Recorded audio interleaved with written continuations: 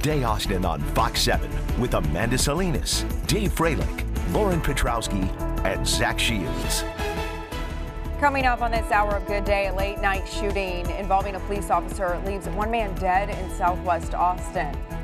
Plus, a few Manor students are arrested after an attack on a principal. And an arrest has been made after a fire at a Florida mosque. We'll have the details coming up on Good Day Austin.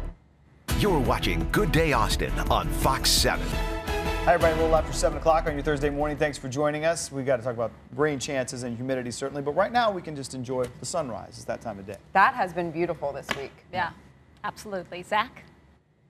You got that right. Gorgeous start to your Thursday, minute after 7 o'clock.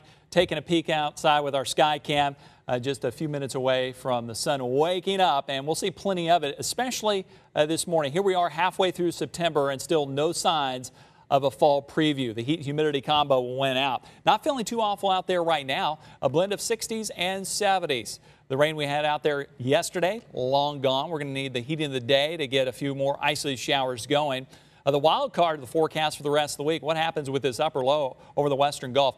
It's going to have a tough time making it all the way into central Texas, but I think it's going to be close enough that it will continue to throw deep tropical moisture our way. Then you factor in some daytime heating. We can't close the book on the isolated shower threat. 20% chance of rain hitting your neighborhood.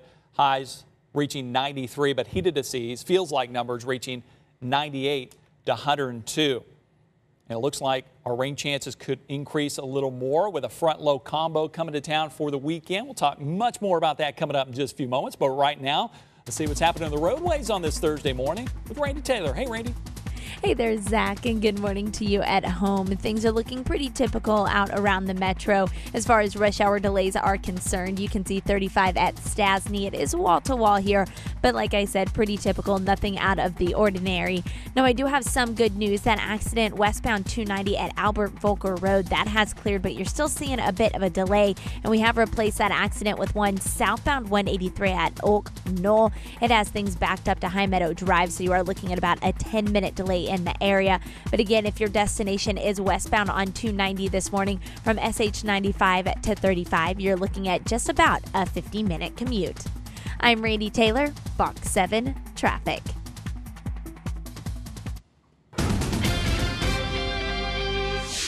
One man is dead after a late night officer involved shooting in southwest Austin. A 911 call on a suspicious man soon turned into something much more.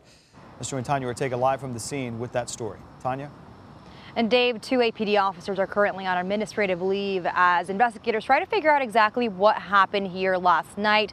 But they do tell us that they have a, a video that was shot by a neighbor that shows that the suspect shot at the, at the officers first. It happened here at the 4200 block of Monterey Oaks Boulevard at the Sedona Springs apartment complex in Southwest Austin. Police tell us that a call came in around 1030 last night about a man looking into cars, possibly trying to break in. Four officers responded, but after an hour, hour, they cleared the call because they were unable to find him. About 20 minutes later, another call came in about the same suspect.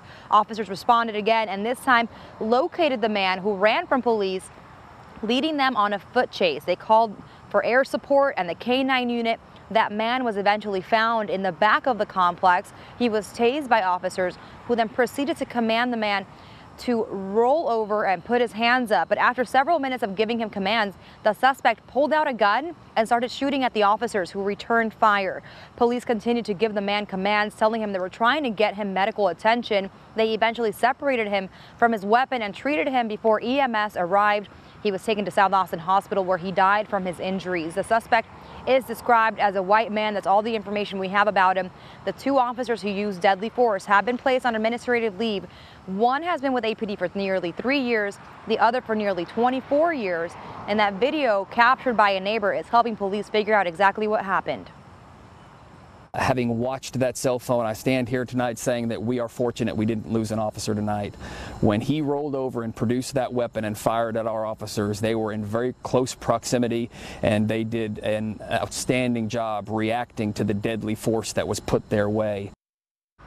And several investigations are currently ongoing through the Austin Police Department. One is an internal investigation, the other a special investigation. They are working with the police monitor and the DA on this on this whole thing. And of course, we're going to keep everybody updated as soon as we get some more info on what happened here. We're going to send it back to you. All right, Tanya, thank you very much. We have an update on last night's death in Kyle. Police have arrested a man in connection with that killing. Andrew Ruben Martinez is now charged with murder. It happened last night, just before 11, in the Waterleaf neighborhood. Officers responded to a report of possible shots fired in the 100 block of Myrtle Street. They found a man outside with injuries. Paramedics treated him at the scene, but he died just after midnight. An autopsy has been ordered on the victim. Kyle Police Chief Jeff Barnett says this appears to be an isolated incident and they don't believe the community is in danger. He's expected to hold a press conference later today to release more information. Six Manor ISD students have been arrested following an incident that happened on campus that police say started with an assault on a principal. The Manor Police Department says this happened around 1.30 yesterday at the Manor Placement Campus, or MAP, when a student was not allowed to get on a bus that takes them to lunch. The principal, Dr. Marcus Jones, says he was standing between 17-year-old Osifo Cameron and the bus, trying to calm Cameron down. He says Cameron then tried to push past him and started throwing punches.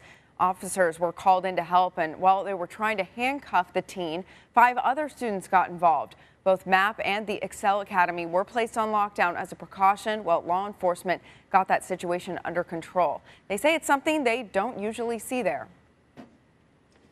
If it's one kid, we can usually talk them down and we don't have to even arrest the one kid. And if anything, we're arresting the one kid that caused the issue and, then, and you know, we're done with it. But this, uh, it was escalated since the students, um, additional students kept interfering, which led to putting officers' safety at risk, the teachers' safety at risk, and also other students' safety at risk. Cameron is charged with assault on a public servant. The five other students were arrested on charges of interference with public duties. Police in Florida say they've arrested the man who started a fire at a mosque in Fort Pierce. 32 year old Joseph Michael Schreiber is accused of setting the fire on Sunday. Officials released surveillance video of the incident. Police say Schreiber was in prison before and is a habitual felony offender. If convicted, he faces at least 30 years behind bars. We need to be leaving the water, the air, and the land in as good or better shape than we found it. Protests against the Dakota Access Pipeline continue across three states. The thousand mile pipeline would connect the oil production from North Dakota into Illinois. Opponents say this project would pass through sacred Native American soil and taint the drinking water. More than 30 protesters have been arrested in the last two days at the pipeline construction site Eight people were arrested yesterday, including three who locked themselves to construction equipment. A federal judge denied the tribe's efforts to stop the pipeline's construction, even though construction is delayed. The NFL announces it'll make millions of dollars available for concussion research. NFL Commissioner Roger Goodell made the announcement yesterday. He says the league will commit $100 million towards medical research and improving technology to help treat and prevent serious concussions in football players. Members of the San Francisco 49ers say they support the initiative, but want to see it in action first. So I think what the league is saying is, is that this is an opportunity for us to go out and engage other experts outside of our own world to help us come up with better solutions, better practices for us to do a better job in servicing and protecting our players.